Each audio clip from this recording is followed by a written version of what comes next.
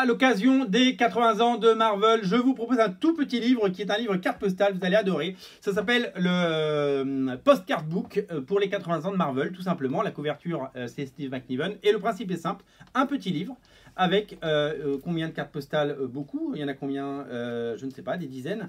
Avec, je les ouvre pas trop pour pas trop l'abîmer. les, plus belles, les plus belles couvertures Marvel, les plus belles couvertures les plus iconiques et les plus, les plus historiques. Détachable et ça vous fait des cartes postales. Voilà, vous avez vu un petit peu le, concept, c'est plutôt sympa.